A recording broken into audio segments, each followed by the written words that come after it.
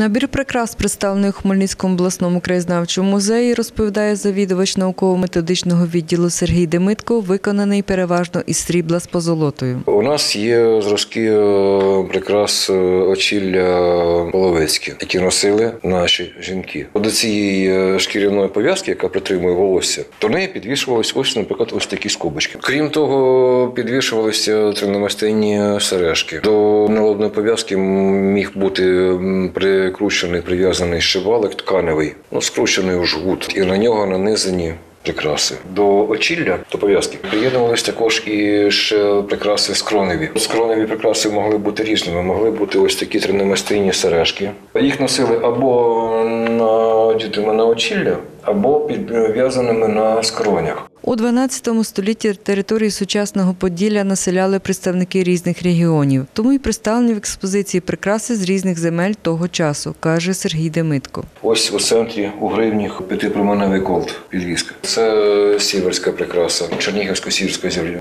Це дві підвіски. Це колти, Е, спеціальна прикраса, жіноча. Е, Вони пустотілі. Фактично це шкатулочки. От жінка носить їх на собі, носить на підвісках. Ви бачите рясний.